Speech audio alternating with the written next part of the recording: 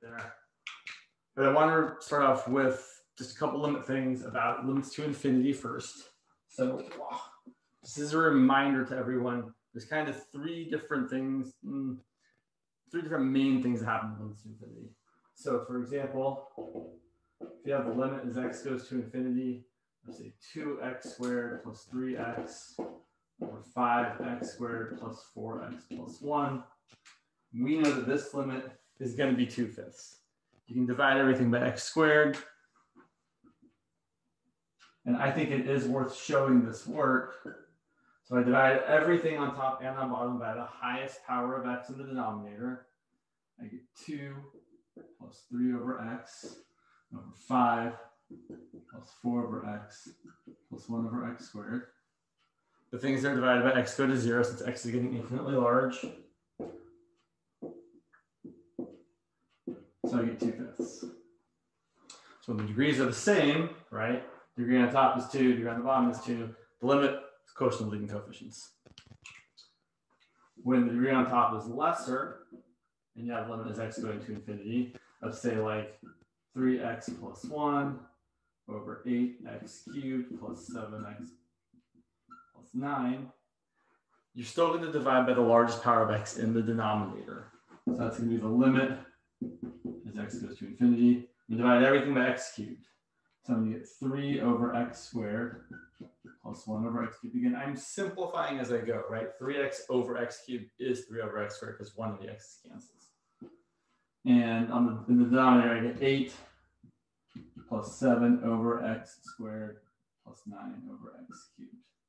Again, all the things that are divided by x squared or by a power of x go to 0. And what we're really doing here, like 0 over 8, which is 0, is the way I kind of think of this more generally is we're dividing by the thing that's growing the fastest. Or another way of saying it is we're dividing by the dominating term. So, sure. Um, someone else sent a good question, which I think actually mm, might do that one. Sure, sure. This one, this one kind of falls in line. So look at this limit. I'm going to change it just slightly, Jack. Um, limit as, actually, wait, I'm not there yet. Sorry, not there yet. Limit as x goes to infinity. If the numerator is to a larger power, so say we have like, I don't know, x cubed plus 5x plus 1 over negative 2x squared plus x plus 3.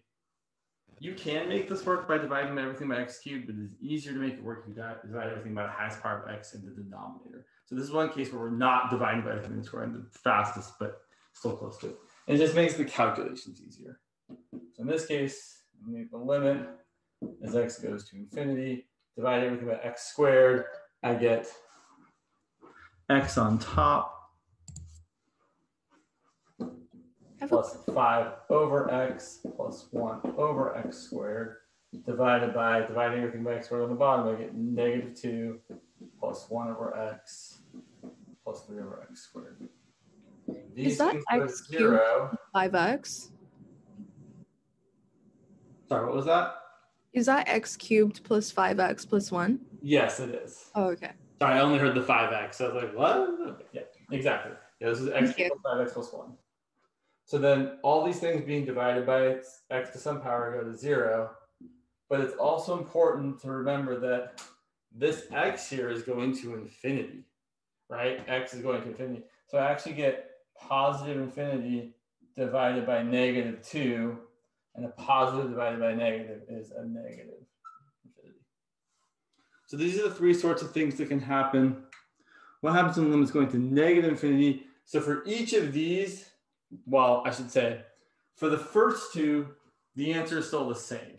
So if we're going to infinity or negative infinity, we actually get the same result.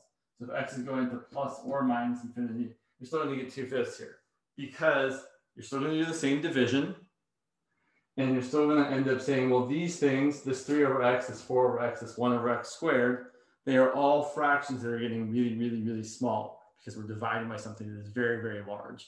Whether it's positive or negatively large doesn't matter. It's still very large. Same deal here. when the degree on top is less than the degree on the bottom, you're going to get zero, whether or not you go to negative or positive infinity. Because, again, for the same reason, right? We divide everything by x cubed, and we end up getting things that are getting smaller and smaller and smaller and smaller. For this last one, though, it actually does matter sometimes whether it's to a plus or minus infinity. So in this case, I'm going to change this just a little just to show you guys. If I was going to, instead of infinity plus or minus infinity, the work would still be the same, right? I'd still have plus or minus infinity here. But then this x is going to positive or negative infinity depending on where what we're doing, right? So if we're going to negative infinity, we're going to get all right of x plus the 5 over x plus the 1 over x squared over negative 2 plus 1 over x plus 3 over x squared. In this case, right, these things divided by something with x still go to 0, but now this x isn't going to positive infinity, it's going to negative infinity over negative 2. So this one ends up being positive infinity. So sometimes it's different. In fact, the next example I'm going to do is also be different as well. So these are both examples of functions that have a horizontal asymptote. For this one, this function has a horizontal asymptote of 2 fifths. For this one, since the limit to infinity or negative infinity is 0, this one has a horizontal asymptote of just y equals 0. This one does not have a horizontal asymptote because the function's not getting close to one particular number. If you graphed it to the right, as x goes to positive infinity, it would go down to negative infinity. If you graphed it to the left, as x goes to negative infinity, it goes up to positive infinity. So if you're going to graph this one, I don't know exactly what this function looks like, but I know it does something like to the left, it's way up here. Some stuff happens in the middle. To the down, to, to the right, it's way over there. I don't know exactly what it looks like, but I do know that since the limit to infinity gives me negative infinity, as x goes that way, the function goes that way. And since the limit to negative infinity is positive infinity, as x goes that way, the y values go that way. It's gonna drive me crazy. So, a couple people have asked about a couple other things. So there are there are other functions that have kind of funkier limits, like to infinity. The following two, actually, so first we should really just say this. Um, I'm going to graph these, so I think it's easier to see it this way. If I graph f of x equals to e to the x, it looks like this. And the y-intercept is 0, 1. And there are two limits we can talk about. The limit as x goes to infinity of e to the x, well, as x gets larger, the y values get larger. That's infinity. And the limit as x goes to negative infinity of e to the x. So as we as x goes to minus infinity, this graph gets closer and closer to zero. And those are things you kind of just need to stick in your head. I have them. I mean, I think of the graph. I also think of, at least for this one, if the power is getting bigger and bigger and bigger, then e to the power is also getting bigger and bigger, right? Because e to the x, like if, if x is getting larger, it's like e squared, e cubed, e to the fourth, e to the fifth. You're multiplying something by itself more and more times. And since it's larger than one, that product is going to get larger and larger and larger. On the other side, when x goes to negative infinity, you get e to the negative infinity power, which you could think of graphically and say, oh, well, I'm having something that's getting smaller. But you could also rewrite it as limit as x goes to negative infinity of 1 over e to the negative x. And then negative x, well, since x is going to negative infinity, negative x is going to negative negative infinity, which is positive infinity. e to the infinity is super large, so 1 over e to the infinity is super small. That's another way you can think about that. And then the other way so so so we so i want to melody to answer your question there's no sided limits for infinity you can ever only approach infinity from the left, right? If I'm going to infinity, right, if I look at the number line, right, infinity's out that way, infinity, right? I'm not, I can't come at infinity from this side because I'm not bigger than infinity. So we can only approach infinity from the left and negative infinity from the right. Um, but the other function I want to make you aware of is e to the negative x. So e to the negative x looks like this.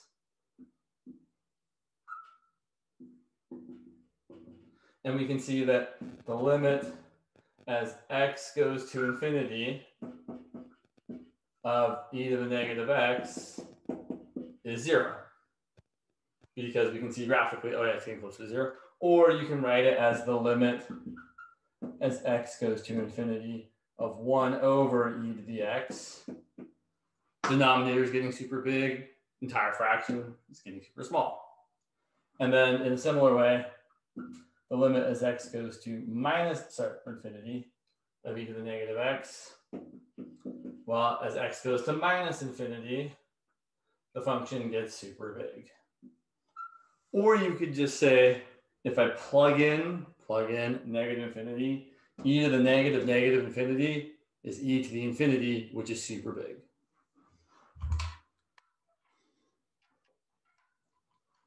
The reason I point this out, or the reason I want to talk about this for a minute, is because then we might ask ourselves the following types of questions.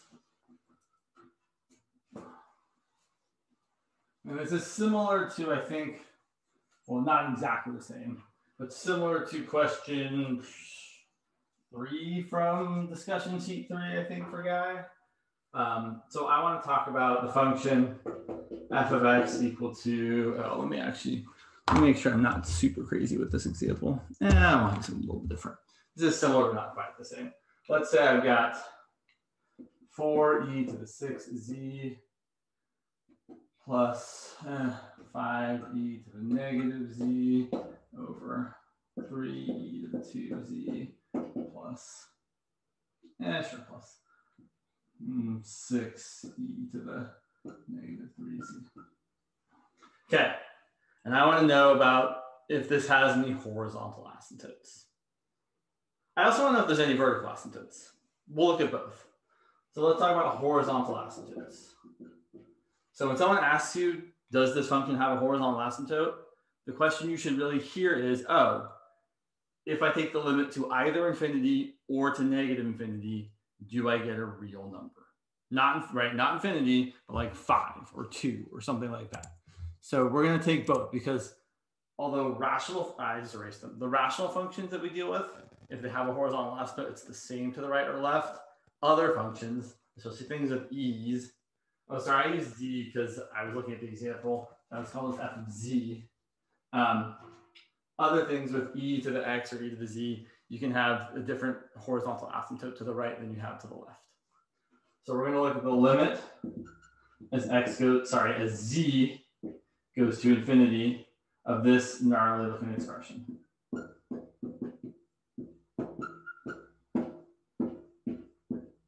And here is my word of advice that I was talking about previously you want to divide everything by the dominating term, by the thing that is getting the biggest, the fastest.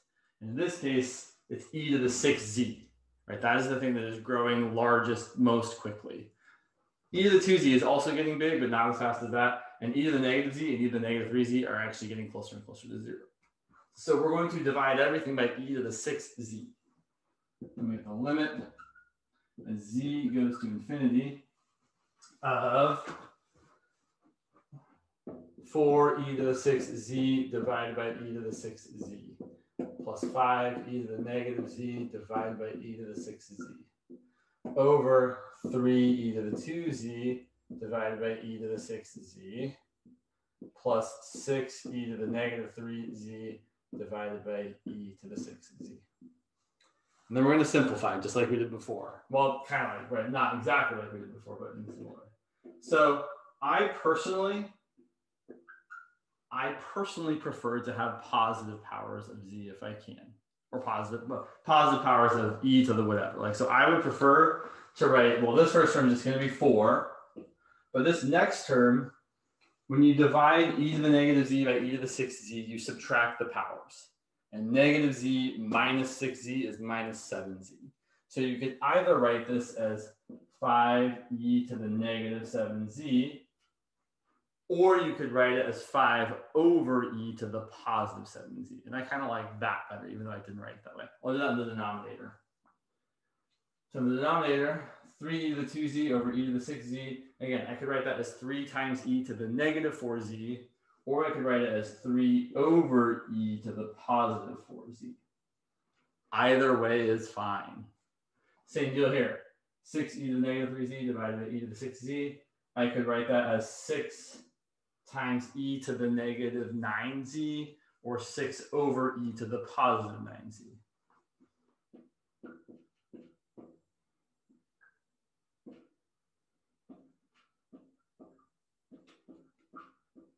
sometimes when I do this method, sorry, and like speak up just a little bit. Oh, sorry. Sometimes when I do this method and for like finding the infinite, uh, finding the limit for negative infinity, I get like a number. It's always like one over something plus infinity. Like so it doesn't give me, it doesn't give me an answer. So what's that? Like it doesn't give me an answer. So we'll talk about that in just a second. Okay, thank you. We're, de- yeah, we're definitely going to do the limit to infinity, to negative infinity. So in this case, we know that if z is going to infinity, e to the negative something times z is going to go to zero, right? Because of the graphs, right? E to the negative x or e to the negative 7x, right? That's still going to go to zero as x goes to infinity. So this is still going to go to zero as z goes to infinity. I think it's easier to see it if we write it like this right? Instead of writing 3 times e to the negative 4z, I think it is much easier to see that if z is going to infinity, e to the 4z is also going to infinity, and 3 divided by something infinitely large is going to 0. You could also say the same thing here.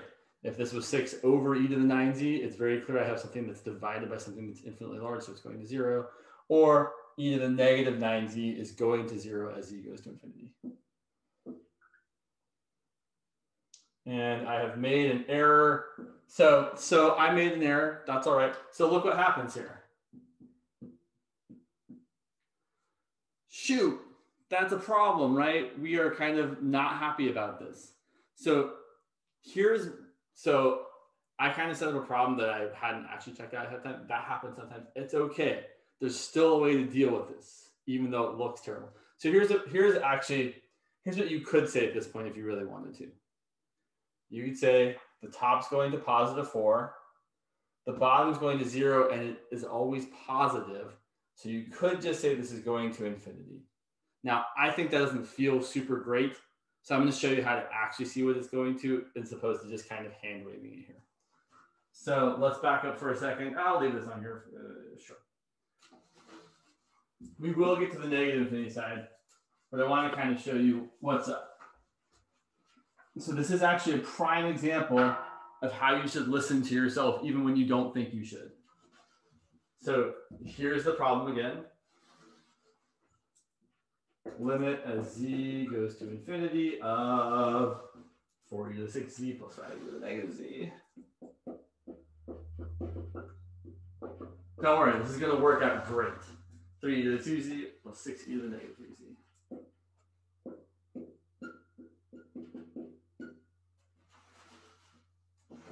Okay. So what I really should have done, instead of dividing by the thing that's getting the largest the fastest, is I should have divided by the thing that's getting the largest the fastest that's in the denominator. Right? Just like in the previous examples, I should have, like when we had the, the x to a power ones, I divided by the thing in the denominator that was largest. That is also what I should be doing here. Because then I won't run into this problem of having something divided by zero at the end.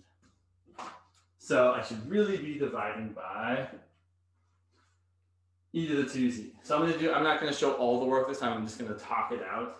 This is going to be the limit z goes to infinity of, so divided by e to the 2z, I'm going to get 4e to the 4z. Dividing by e to the 2z here, I'm going to get 5e to the negative 3z. Dividing by e to the 2z, here I just get 3.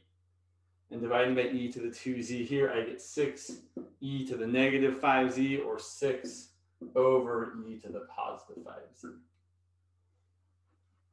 And now what happens? Well, this goes to 0, and this goes to 0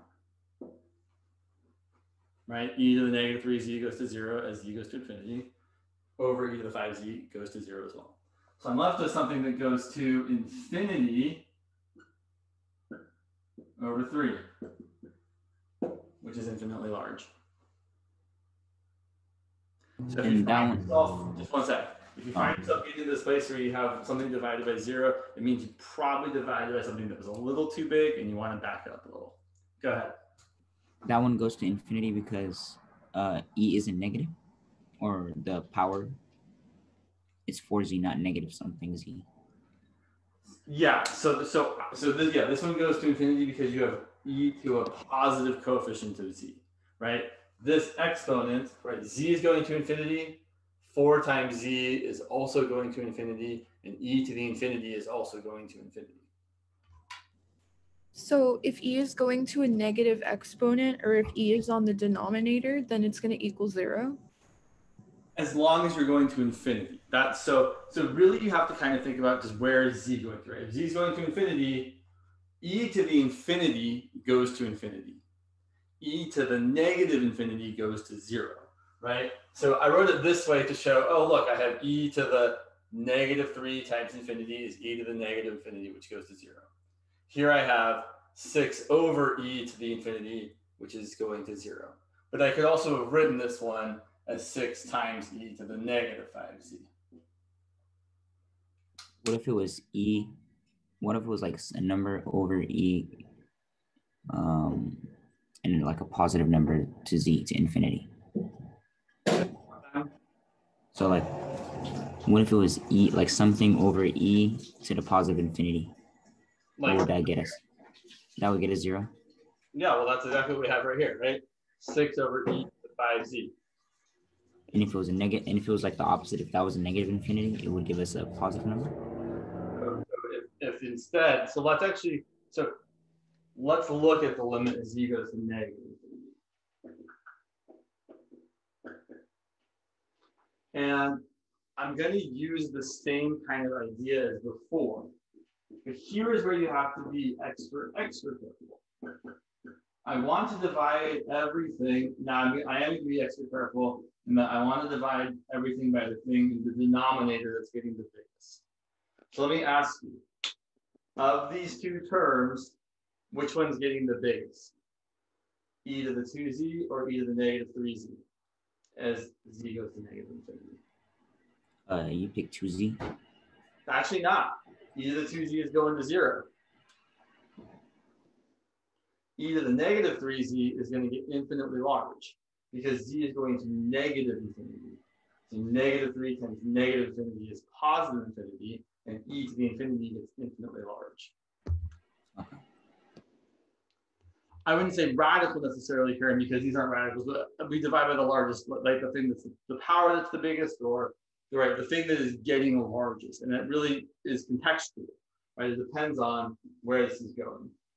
Um, yeah, I do. So the problem with the one I came up with on the fly here is the answer is not going to be super interesting because because of what I did. So I'm going to modify this one just slightly to get a more interesting answer. Yeah. So let's make it instead I'm going to change the powers a bit. Let's say we had e to the 4z and e to the 4z here, and e to the negative 3z and e to the negative 3z there. So the positive powers and the negative powers are the same. And I want to do it this way because it's just kind of you the little motion. So again, I'm still holding to my original thought that I want to divide by the thing that is the largest. And the thing that's the largest as z goes to negative infinity is e to the negative 3z, right? e to the negative 3z looks like this. e to the positive 4z looks like this. But as we go to negative infinity, right, e to the negative 3z is much bigger than e to the positive 4z.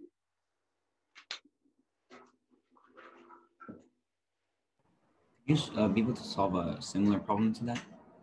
Or what? Or would you would you have the time to solve like one of the homework problems like similar to that? This is very similar to a homework problem. I think this is a good example of the homework problem. Because I'm still having like a problem with one of them, and it's like it's the same method. Sure. So, so I think this is a good example. Let's do this one. Okay. So I'm going to divide everything by e to the negative 3z.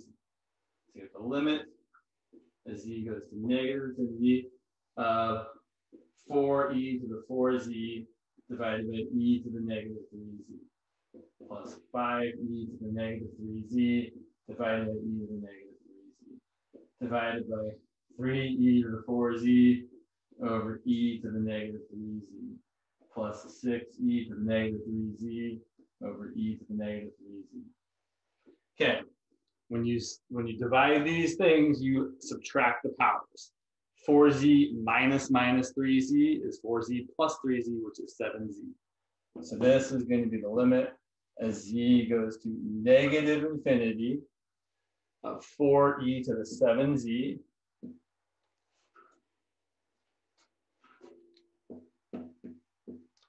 plus 5, right? These just cancel out. Over on the bottom, I have 3e to the 7z plus 6. Wait, so when we're going to negative infinity, instead of doing the largest um like exponent in the denominator, we do the smallest one? Yeah, that's another way you could say it for sure. Because the smallest one is the one that's getting biggest fastest. Even if they're both positive, right? If these were both, if like, if this was e to the 2z and e to the 2z, and I was going to negative infinity, I would divide everything by e to the 2z. So yeah, you want to divide, if you're going to negative infinity and it's one like this, where it's e to the something, right? It's not like a rational function with polynomials, but if it's e to the things and you're going to negative infinity, yes, you want to divide by the smallest power in the denominator, or e to the smallest power. So this ends up being 5 over 6. Because this term here, as z goes to negative infinity, this goes to 0. And the same thing here. Um, wait, how did you get like the seven Z for? Cause was that like a nine or was that a four? That's a four. And then we're writing isn't always the best. So this here says 4e to the 4z divided by e to the negative 3z. And to get this term here, I subtracted those powers, and 4z minus minus 3z is positive 7z. Okay. And let me ahead and do that.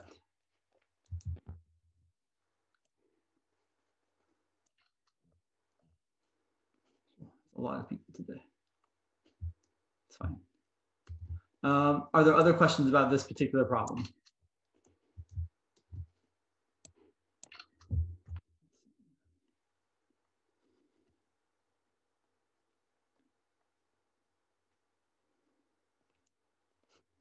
Okay, so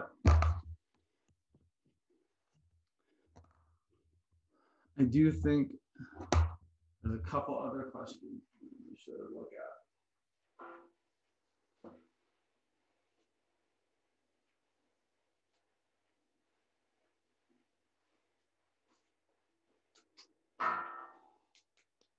Hmm, So, not that we shouldn't continue to talk about limits to infinity, but there are other types of limits. So I think we should move into talking about limits as x approaches a number.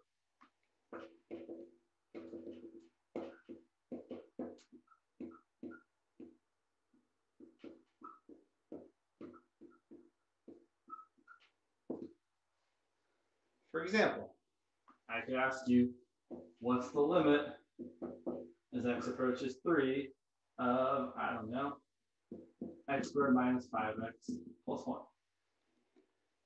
So when you read this statement, well, first of all, reading it the right way is, is, is a little important. This says the limit as x approaches 3 of the function x squared minus 5x plus 1. And all this is asking you is, what is this function getting closer and closer to as x is getting closer and closer to 3? So we could graph the function. I don't really want to graph the function, but we could. Right? It looks, I don't know, vaguely like this. Probably. But what they're really saying is, okay, as x is getting closer to 3, what's this function getting closer to? Well, as we move closer and closer, let's say 3 is right there, right? The function is getting closer and closer and closer and closer to some y value. And in this case, we could just plug in 3 for the function and figure out what y value getting closer to. So in this case, you can say, oh, well, that's going to be 3 squared minus 5 times 3 plus 1, which is 9, minus 15 plus 1, which is negative 5. And a lot of times this is true. If you're trying to find a limit as x approaches some number, you can just substitute that number in for x into the function that you're taking the limit of and see what the function is equal to. But things are never always this easy, right? Usually things are going to be more challenging.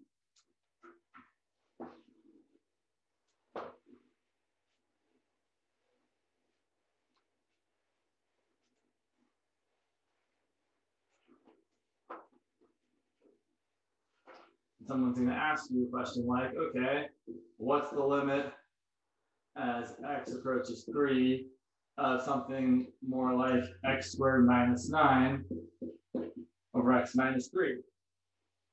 And then we can't just substitute in 3. Right, if I plug in 3 for x, I get 9 minus 9 on top, and 3 minus 3 on the bottom, and 0 over 0 is undefined.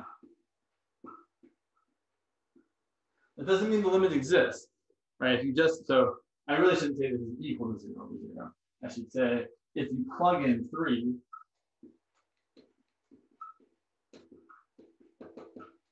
we see that it would be zero over zero and zero over zero is undefined. I do want to really, really disabuse anyone of the notion that zero over zero is necessarily equal to one, right? It could be one. It could actually be anything. Because really what this says is zero divided by zero. So the question we're asking is, how many times does zero go into zero? Well, you might say one, and I might say five, and Krista might say 17, and Melody might say 26, and we'd all be right.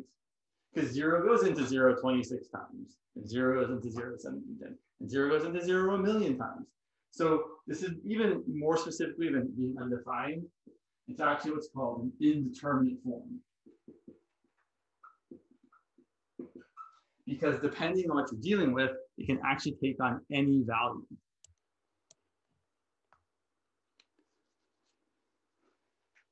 So you're right, Melody. We could totally plug in a number that's really, really close to what x is approaching. And sometimes that will be very helpful. For example, here, we could totally plug in numbers like x equal to, I don't know, we could start with, let's, find, let's make a table. So if I plug in say x equal to four, so I'm not let's make a table. If I plug in four, here I'm going to get seven. Right, 16 minus 9 is 7, over 4 minus 3 is 1, 7, 1, 7. And then I can pick smaller numbers, like I could say, or close, I should say numbers closer to 3. I could plug in 3.5. And 3.5 squared minus 9 over 3.5 minus 3 ends up being 6.5. I'm not really doing the math in my head. I'm using a trick. I'll show you the trick in a second. I plug in 3.1, 3.1 squared, okay, that is 9.61 minus 9 is 0.61 over 3.1 minus 3 is 0.1 and 6.1 divided by 0.1 is, or sorry, 0.61 divided by 0.1 is 6.1. You can do the math in your head. Yeah, exactly, Jack, right? We would factor and simplify because x squared minus 9 over x minus 3 is equal to x minus 3 times x plus 3 over x minus 3. And as long as x is not equal to 3, we can cancel these out and say it's just equal to x plus 3. So yeah, that's what I'm really doing. I'm saying, oh, if I plug in 3.1, 3.1 plus 3 is 6.1. And we can keep, right, we can go like 3.0001 and we get 6.0001.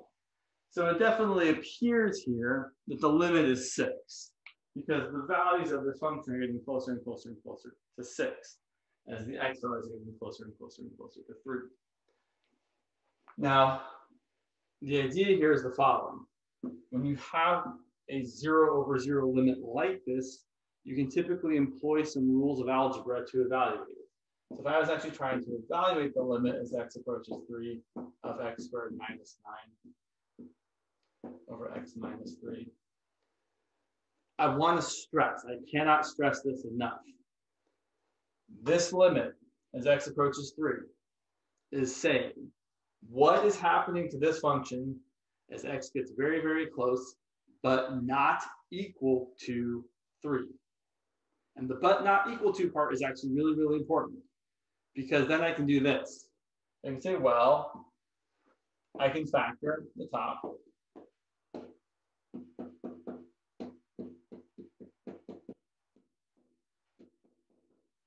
And then I can say, well, this limit, I can cancel these. I'm going to talk about canceling this. So this is the limit as x approaches 3 of x plus 3.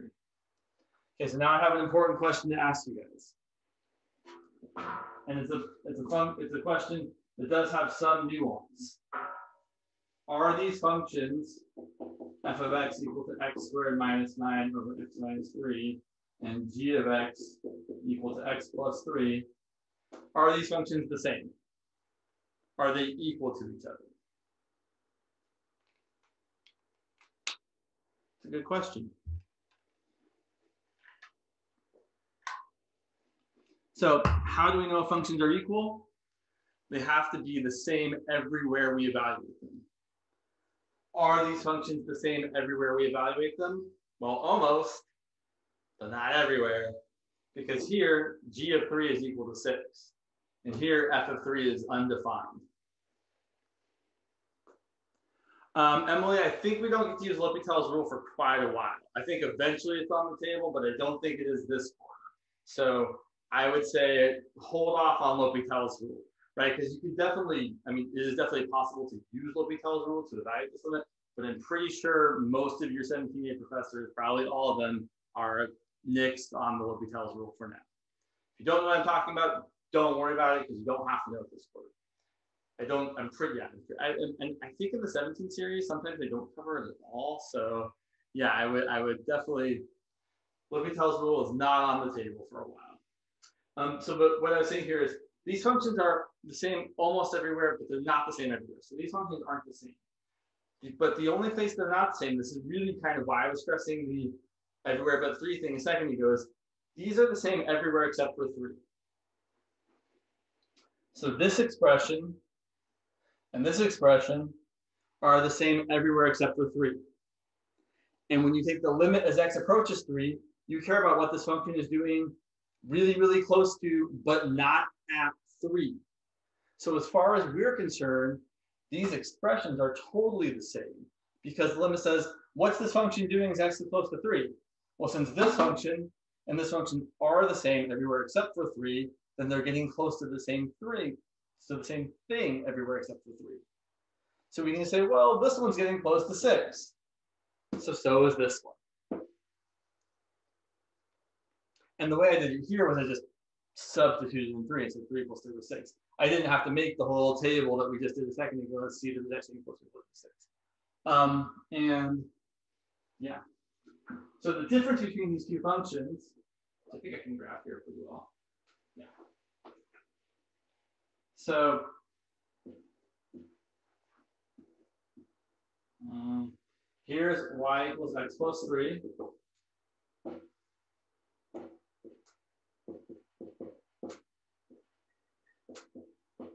and here's y equals x squared minus 9 over x minus 3.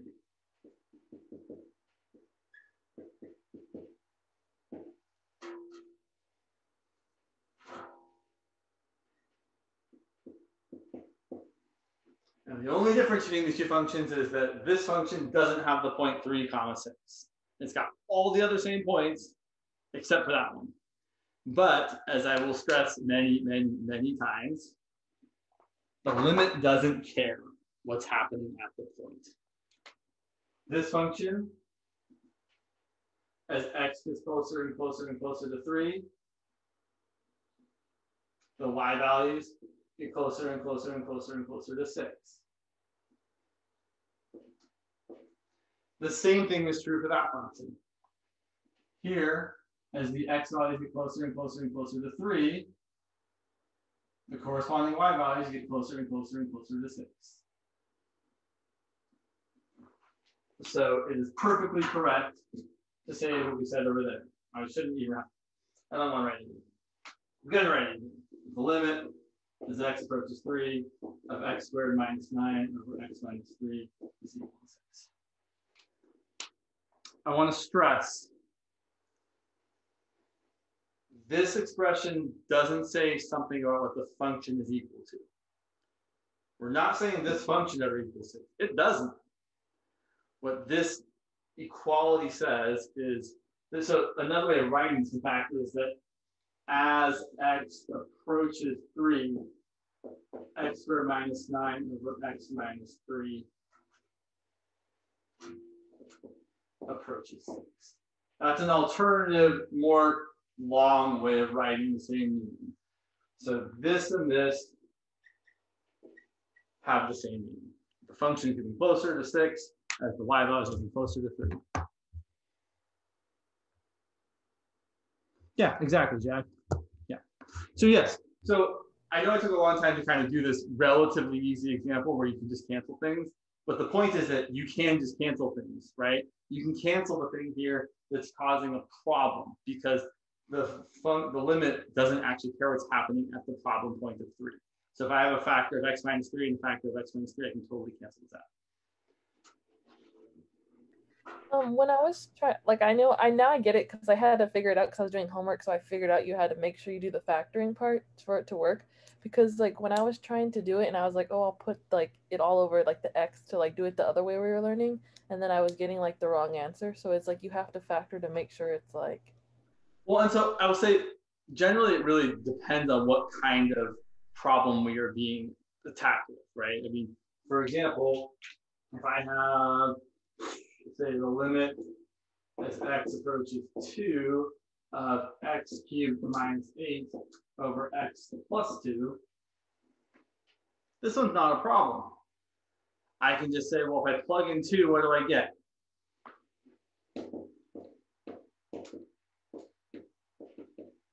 You get 0 on top, I get 4 on the bottom. 0 divided by 4 is 0.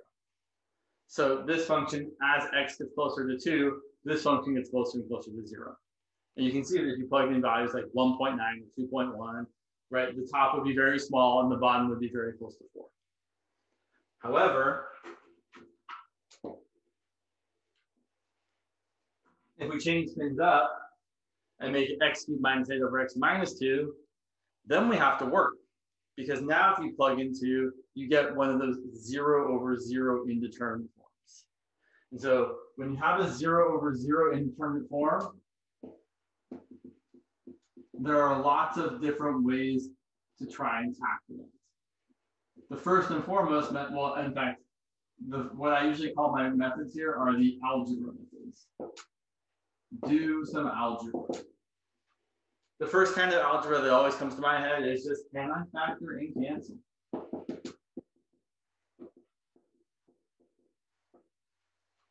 Can I factor this? Sure I can.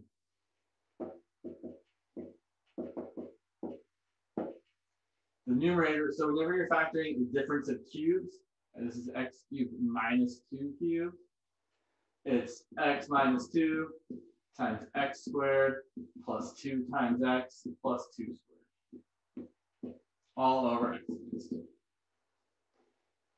And then and then since this limit doesn't care what's happening at 2, this expression and this expression, these are always the same except at two. Right? At two, this is a number. At two, this is zero over zero. Everywhere else than two, they're going to be the same. Right? You plug in three, these parts cancel. Plug in three here, plug in three here is the same. You plug in five, these parts cancel. This part here, this part here are the same when you plug in five. So these our expressions are exactly the same everywhere except for two. And so if you're taking the limit of x goes to two, it's perfectly fine to cancel the x minus two. So it doesn't equal zero. Oh, sorry, sorry, yeah. The, the other one, yeah, and the first one did equal zero. Zero over four is zero. Zero divided by anything not zero is zero. This one's gonna be two squared plus two times two plus four, which is 12.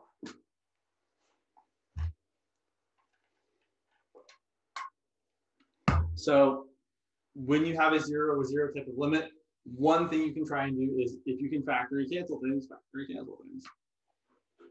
And that's not the only thing though.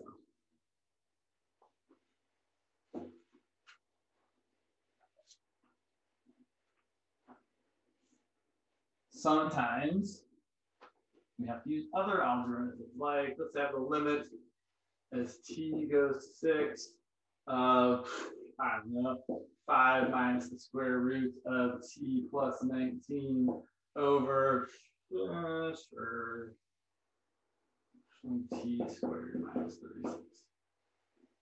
Yeah, no, it's not. Yeah, it's not. So I can definitely see I can factor. Well, I should. So I should back. I should listen to my own advice before I start thinking about factoring, canceling, or doing anything yeah, I'm going to use the conjugate, but before I use the conjugate, I should make sure I actually have to, right? So let me, I'm going to change the problem. Ooh, I don't want to film that way. Um, right? Let's say I had a plus right there for just a second. I'm going to go back to the problem, right? If I had a plus there, I should check that if I plug it in, it don't get a number, right? If I plug it in here, I plug in 6, 6 plus 19 is 25, square root of 25 is 5, 5 minus 5 is 0. And if it was a plus on the bottom, right, 36 plus 36 is 72. So the limit written like this would just be zero. And using the conjugate, although is not wrong, would be extra work I wouldn't need to do. So always, always, before you start applying algebraic methods or anything really, plug in what t is approaching or x is approaching and make sure you don't just get a number. If you get a zero over zero, then do some work. If you get a zero over not zero, your answer is zero. Or if you get a non-zero over non-zero, your answer is whatever that number is. Okay, but now, yes. So now I see that if I plug in t equal to six, oh, I definitely get zero over zero. So then you're right, I'm going to multiply by the conjugate, the conjugate of the square root thing. Because technically this has a conjugate too, right? The conjugate of this is t squared plus 36. But the point of multiplying by the conjugate is to get rid of the root. Because there's no way I can, there's no way I can simplify this with the square root though. It's problematic. So I'm going to multiply by 5 plus the square root of t plus 19 over 5 plus the square root of t plus 19. So the whole thing that I multiply by the conjugate is you want to multiply the conjugates. So when you multiply conjugates together, you get the first thing squared, so you get 5 squared minus the second thing squared, the square root of t plus 19 squared. And the middle terms cancel out, right? You would get 5 times the square root of t plus 19 minus 5 times the square root of t plus 19. Those would totally cancel out, so we're not going to write The bottom, I don't want to multiply out. Right? This, all right, because what I really want to do, actually, I do want this factor. I want this left on its own, and I want to factor 2 squared minus 36 as t minus 6 times t plus 6. Because I know if I know if I'm getting a 0 over 0 when I plug in 6, I should be able to factor out a t minus 6 from the top and the bottom. Right? If whenever you're plugging in a number it's giving you 0, you should be able to factor out your variable minus that number. It's like the fundamental theorem in algebra. If you plug in a number you get 0, x minus that number or t minus that number is a factor. Okay, so I'm at the limit as t approaches 6 of, let's see, so this is 25 on top minus parentheses t plus 19. So this becomes 25 minus t minus 19. So that's going to be 6 minus t on top. So I've got 6 minus t on top over t minus 6 times t plus 6 times 5 plus the square root of t plus 19. And now we have a small other issue. So 6 minus t and t minus 6 don't exactly cancel out. They're not the same. You can address this in one of two ways. You can either say, well, I can factor out the negative 1 from top. Right? I can rewrite this as negative 1 times negative 6 plus t, which is just t minus 6. Right? That's the same as that. The other way to do it is just to say, these do cancel out, but when you divide 6 minus t by t minus 6, they leave you with a negative 1. Right? When you subtract things in the opposite order, they are always opposite signs. Right? 6 minus 8 and 8 minus 6, that's negative 2 over 2. That's negative 1.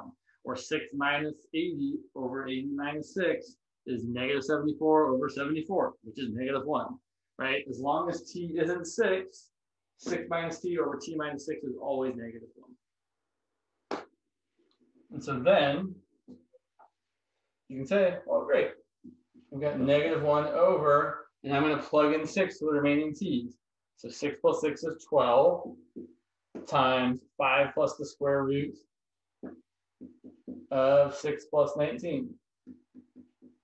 So that's 5 plus 5, that's 10 12 times 10 is 120, so I get negative 1 over 120. So, another algebraic method we have for dealing with a 0 over 0 type of limit is to use the conjugate.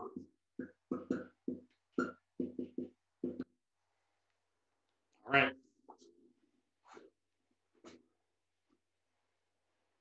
Time is it? Okay, that time. Let me see if there's anything weird here. On on that last one was the final limit one over one twenty. Negative one over one twenty. Oh, okay.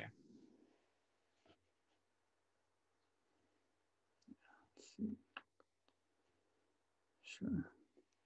I'm slowly working my way back around some of the questions that were asked earlier. Okay limit as x approaches negative 12 of 3 over x plus 1 fourth over x plus 2. So in this case, again, there's not really any simplifying we can do yet. Or we can simplify this, we really have to multiply by a common denominator. So there's actually kind of two different ways to do this. One way is to write this as the limit as x goes to negative 12 of 3 over x times 4 over 4 plus 1 over 4 times x over x all over x plus 12. Another way to do this is the limit as x approaches negative 12 of 3 over x plus 1 over 4 over x plus 12, and then multiply that entire fraction by 4x over 4x. Either way, I'm using the common denominator. Either way, I'm going to get to the same place. It's just that it looks a little different. I feel like, so personally, this seems more logical. I'm like, well, yeah, I'm just going to get a common denominator and add the things together. That makes sense. This is computationally slightly more difficult. This seems a little less logical, like you have to know the trick, but this is slightly computationally easier. So that's why I prefer to do it this way, even though this way seems more sensible. But let's look at both. So this way, I get the limit as x goes to negative 12 uh, let's see, so this becomes 12 over 4x plus x over 4x all over x plus 12. I combine those together, so I have the limit as x approaches negative 12 of 12 plus x over 4x. And here's the part that usually throws people off. Instead of dividing by x plus 12, I'm going to multiply by the reciprocal, which is 1 over x plus 12. That's the part that's usually computationally a little bit harder. Um, and then what happens is this x plus 12 and this x plus 12 can cancel out. And so you get the limit as x goes to negative 12 of 1 over 4x, which is 1 over 4 times negative 12, which is negative 1 over 48. It's a perfectly fine way to do it. You do it this other way, though, it's a little bit easier. You do it this way, you distribute this 4x to each of those terms. So you get the limit as x goes to negative 12. 4x times 3 over x, the x is canceled, and 4 times 3 is 12. And then 4x times 1 over 4, the 4 is canceled. And 1 4 times 4x gives you just x over x plus 12 times 4x. So would you only distribute the 4x to the numerators? Correct. And so this is kind of this is kind of a thing that we see happening often, like with the conjugate, right? With the conjugate here, I didn't multiply at the bottom because this isn't the conjugate of that.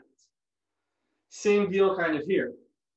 I'm only going to multiply at the top because the 4x is the common denominator of these fractions, whereas the 4x isn't really related to this term at all. Also, I know I want to cancel out an x plus 12 because negative 12 plus 12 is, what, is what's giving me zero in the denominator. So I'm always like, if I see something that is becoming zero when I plug in whatever x is going to, that's usually the thing I'm looking to cancel. And I want to leave it alone so I can easily cancel it out. But you could multiply this out and get 4x squared plus 48x. And then in the next step, you probably factor it back out. So you get that x plus 12 plus 4x. We don't want to do more work than we have to do. Um, so then we get, so then this 12 plus x and this x plus 12, those are the same. Those cancel out. So the limit as x goes to negative 12 of 1 over 4x. And that's just what we had done here. That's going to be negative 1 over 48. So either way you want to do this is fine. I think this way is a little bit easier, but whatever you like. So the third thing we often see if we have a zero over zero, and there's algebra to do, is we use a common denominator.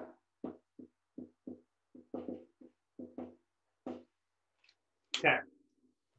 Um, So sorry, like for the red one, how come like once you got to like the 4x on the bottom, how come you couldn't just like plug in the negative 12 and you had to do that additional step? you mean like this step here? Like the one before it, because you get like 4x like in the beginning, and you can't you can't you just like plug in the negative 12 then? You probably could. Some people get a little picky about when you write the limit. Um, I so if you wanted to, yeah, you could go straight to saying this is equal to one over four times negative twelve, which is negative one forty eight.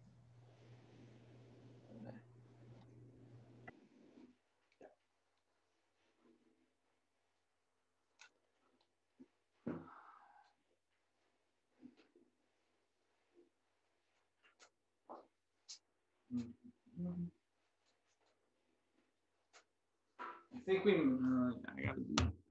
So I saw a couple limit questions you guys had earlier.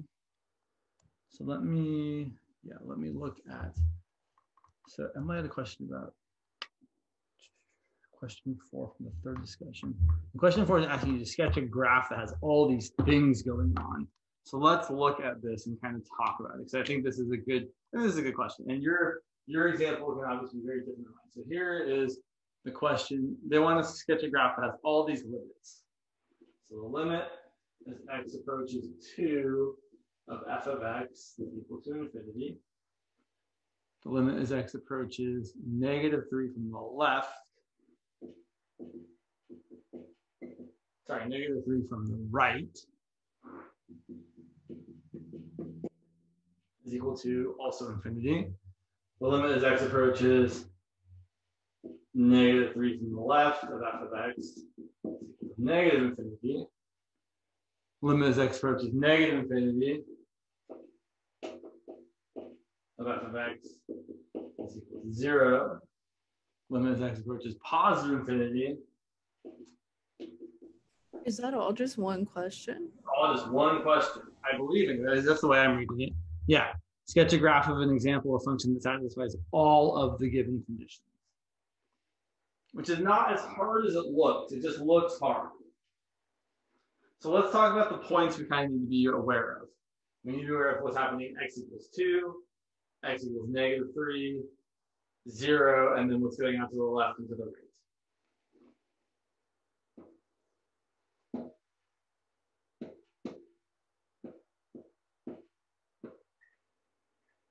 So here's what I know so far. I know that f of 0 is 0. I also know that, so if I have the limit as x goes to infinity of f of x equal to 1, that means I have what kind of feature? If I go all the way out to infinity and the limit is 1, that means as I go further and further to the right, my graph is getting closer and closer to 1. What do we call that kind of thing on a graph? Horizontal asymptote. Exactly. Yeah, you guys are probably typing it and I'm just not all the way down in the chat because there's a million things on my computer. Yeah, exactly. So we know that to the right, we have a horizontal asymptote of y equals one. And then we also know, similarly to the left, as x goes to negative infinity, the function is getting closer and closer to zero. So, and you I never draw this asymptote because it's already the axis, but we have y equals zero as a horizontal asymptote to the left. So we know that whatever's happening way out on the other side, our function should be getting closer and closer to this, either like this or like this, and same there, closer like this, like this. Okay. So then we need to look at what's happening at, let's say, two. Actually, let's do negative three first. So this says, as I approach negative three from the right-hand side, my function is getting infinitely large. Okay, so here's negative three right here. And so it's saying, as I get closer and closer to negative three, my function is going to get infinitely large. That looks like I've got a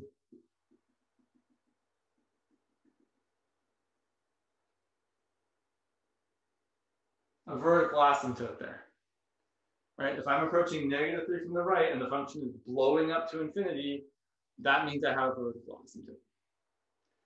And the same sort of thing from the left, except from the left-hand side, right? As x approaches negative from the left, my function is getting negatively infinitely large. So from the left-hand side, I'm not going up to infinity, I'm going down to negative infinity. Okay, so I can probably start filling in a couple things. I would probably make this hit right here. You can make your graph it right. You could you could make it right you guys just have to have at least anything. You could also do this if you want. You can say, well, I'm going to make it go like, so it goes through negative two and then comes back and does that, right? You can do whatever you want, as long as you have the thing that you're asking for. And then, so on this side, right, we could, we say, well, my horizontal offset zero, so I'm going to do this. I'm going to say it goes like this. Totally okay to cross the horizontal asymptote. We do it all the time. Okay. But you could also just do that, right, if you want to. So the only other thing we have to worry about is what's happening at 2. So just like at negative 3, at 2, we're going to have a vertical asymptote because as we're getting closer to 2, the function is getting infinitely large. Now the difference is that at 2, it just says the limit as x approaches 2 is infinity, which means either from the right or from the left, they're both going up to infinity. So we're doing this and that. So the easiest thing would probably just be like, say, okay, well, that's going to connect up like that. And then this one, you could just make it go down like that. Or you could do something wacky, like that. This has all the features. The limit to negative infinity is zero. The limit to positive infinity is one. f of zero is zero. The limit as x approaches two is infinity. The limit as x approaches negative 3 from the right is infinity. The limit as x approaches negative 3 from the left is negative infinity. Uh, I had a question. Yeah. Oh, The f of one equals zero. Wouldn't that mean when? Oh, x- that, I, that says f of 0 equals 0. I thought.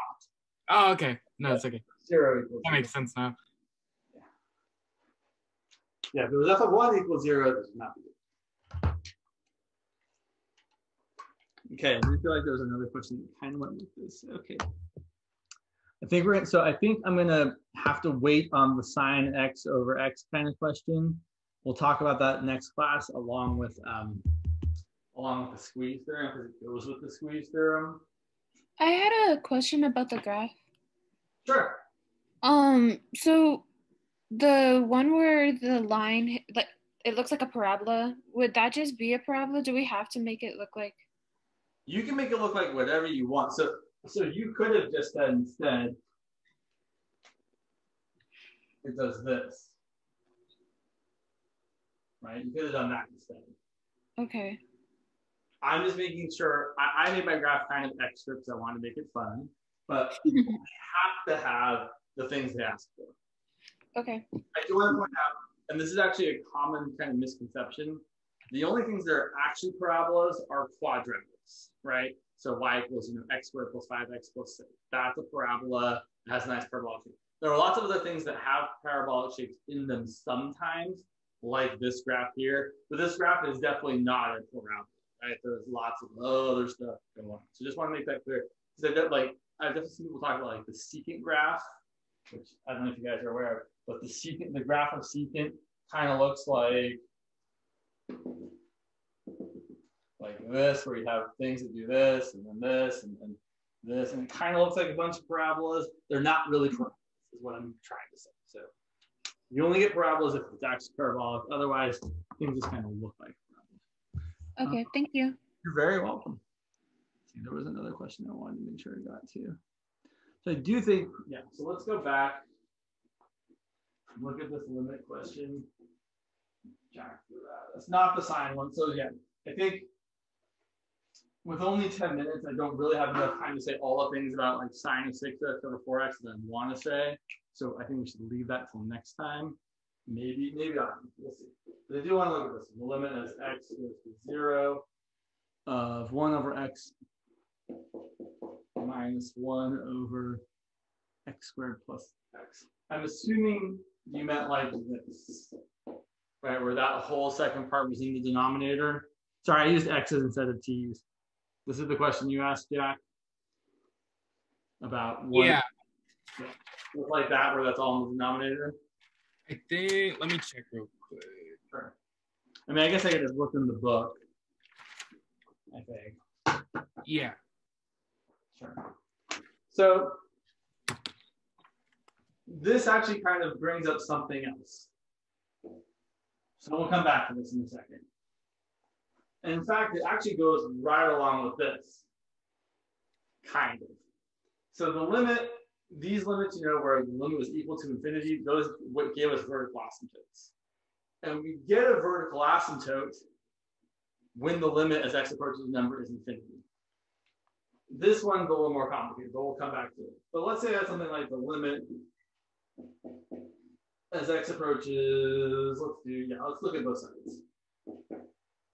As x approaches 2 from either side of 3 over x minus 2. So I want to point out first and foremost, this is not a 0 over 0 type of limit. Right, if I plug in 2, I don't get 0 over 0. What I do get is I get 3 over 0, which isn't a real number, which is why I often write it in quotes. So you could make it if you wanted to, right? You could start plugging in values. I'm to erase this part over here. I know we're low on time. But like I could say, you know, I could plug in three for x and get three over one, which is three. Or I could plug in 2.1 and get three over 0.1, which is 30. Or I could do 2.01 and get 3 over 0.01, which is 1 one hundredth, which is 300. And we see, I think, that as the x values get closer and closer to 2, the y values are getting really stupid big. And that's going to happen, right? And so I say this a lot. I'm going to say it again right now. When you have fractions, if the denominator is getting large, the fraction is getting small, right? We saw that in the beginning of class today with all those limits as x went to infinity by like 3 over x squared, and that got small because the denominator got big. Well, the, the inverse relationship is also true. If the denominator is getting small, the fraction is getting large. Maybe negatively large, but definitely large. So here we can see that as x approaches 2 from the right, meaning the side of 2 that's a little bigger than 2, the denominator is positive. So I just wrote 3 over 0 with a plus sign as a superscript. And that's going to be positive infinity. On the other side, if x is approaching 2 from the left, so say like if x is 1.9, where I get 3 over negative 0.1, which is negative 30, or 1.99, get 3 over negative 0.01, which is negative 300, etc. We can see that as we approach 2 from the left, the values are getting infinitely large, but they are negatively infinitely large. And that's because here, if you're thinking about a number that's a tiny bit smaller than 2, the numerator is still 3, but the number smaller than 2 minus 2 is going to be slightly negative. So I write a 0 with a minus sign as a superscript. And a positive over a negative is going to be a negative infinity. So here's the way I think about limits like this, where you have a number over 0. It's going to be some sort of infinity. And type of infinity depends wholly on what sign things are. So what time have I got? Yeah, I got this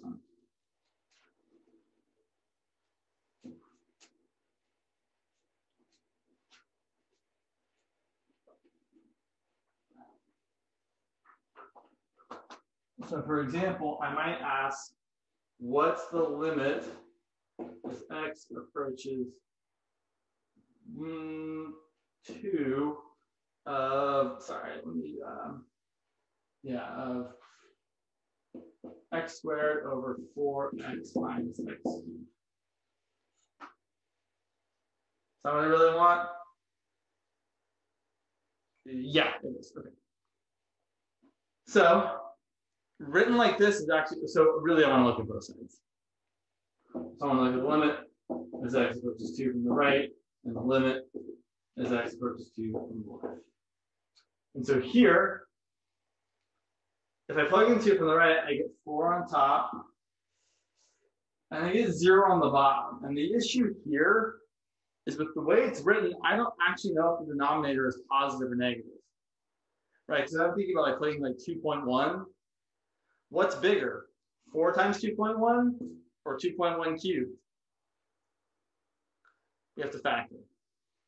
You need to write this as the limit as x approaches 2 of x squared times from the denominator, I can factor out an x. I'm left with 4 minus x squared, which factors further as 2 minus x times 2 plus x. So now I can see that when I plug in a number slightly larger than 2, my numerator is still 4, my denominator is 2 times a slightly positive number times a positive number. So the whole thing's positive on the bottom. On the other hand, if I plug in, if I'm approaching two from the left, sorry, I should have written, I should have written my x squared over 4x minus x cubed here.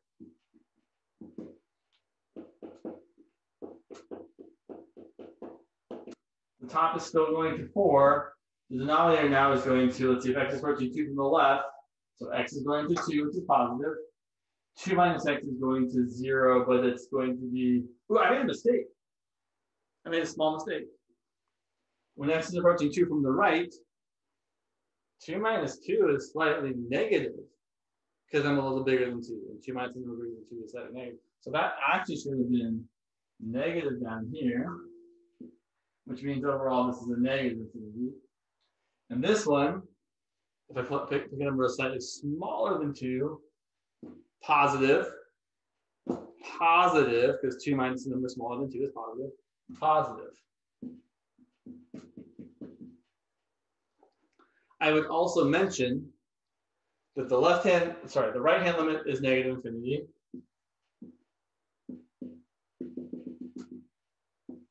So we have a vertical asymptote like the like like this, and the left hand limit is positive infinity. But the overall limit as x approaches 2 doesn't exist because they're not the same sort of infinity. So just be aware that if you have a limit that's double-sided, if the right hand side and left hand side aren't the same sort of infinity, we would say that the limit didn't exist. Okay. So let me get back to the question that started this whole conversation. So just want to say again, generally, if you have a non-zero number divided by zero, your limit's either going to be infinity, negative infinity, or if it's double-sided and the different sides are different types of infinity, not exist. Those are the only three options if you have a non-zero number divided by zero. That's it. So number zero is going to be infinity, negative infinity, or does not exist. The whole story there. It's great. So I want to come back to this question because it does require a little bit more effort. The problem with this is it's infinity minus infinity. Right? This is going to some sort of infinity. This is going to some sort of infinity. Infinity minus infinity is, here, is as indeterminate. Common denominator is the way to go. Right? If you're subtracting fractions and you can't just subtract them, that is easily, maybe not easily, but is often an obvious first thing to try. It might not work. Sometimes things don't work, but we still try them. So I'm going to rewrite this as the limit as x goes to 0 of 1 over x times x squared plus x over x squared plus x minus 1 over x squared plus x times x over x. And then write the limit as x goes to 0 uh, let's see, x squared plus x minus x over x times x squared plus x. Cancel those.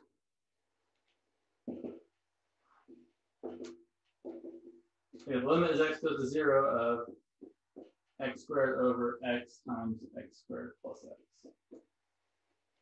If I try to plug in zero now, what do I get? Uh, indeterminate, probably. Right, I get sadness, zero over zero. So I try to simplify. In this case, I can definitely simplify. So I want to really, really caution you guys.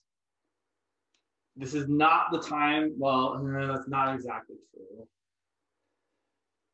I don't. So what I want to what I want to warn you. I know we're out of time, but what I want to warn you against is this mistake where you say the limit as x goes to zero of like 2x squared plus 1 over 3x squared plus 5x plus 2. I've seen people say that this is equal to two thirds because they're using the rule. This is not two thirds, right? But people are thinking about the limit going to infinity and the and the degrees being the same. This one would just be one half because you would say, oh, I'm going to plug in zero. And zero plus one over zero plus zero plus two is one. So just be careful, right? It's different if you're going to zero versus going to infinity.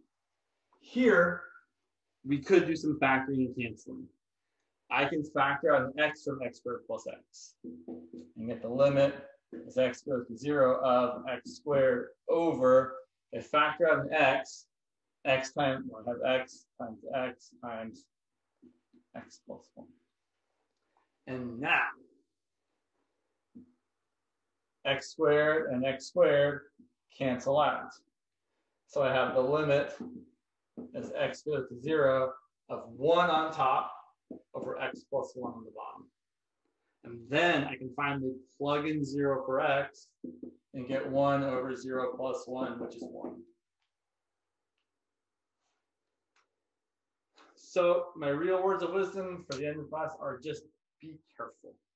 Make sure you are actually paying attention to what x is approaching, whether it's zero or a number or infinity or negative and think about what's going on. Um, we'll definitely talk more about limits on.